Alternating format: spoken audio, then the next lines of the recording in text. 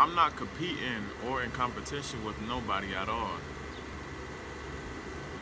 I'm doing this because it's sacred in my heart. I'm doing this because I vision of changing the world and enlightening the world.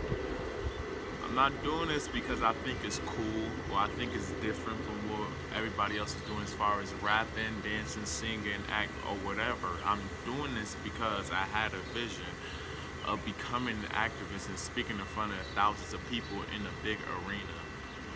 You know, so that's why I love doing what I do. Another thing too, um, it's going to take some time for me to actually um,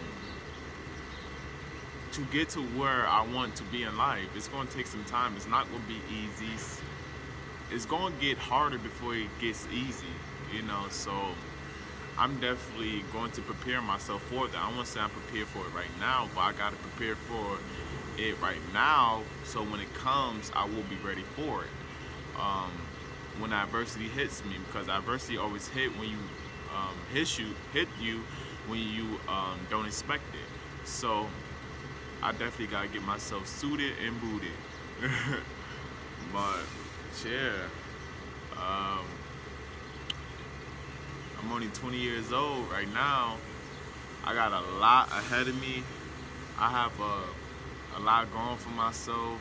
Well, I finna have a lot going for myself. The more and more I learn about myself every day, and I'm gonna do things to make myself closer and closer to my goal. Um, but yeah, Royal Pan Africanist got a lot of work man, to do. but um, it will be a struggle that comes from with anybody who has a dream or a goal will be hard in life before it becomes easier in life. You gotta break down the barriers, milestones, and mountaintops. Then you will see how easy um, life will be, well the road will be, I would say. But you gotta stay courage, stay motivated, and be around people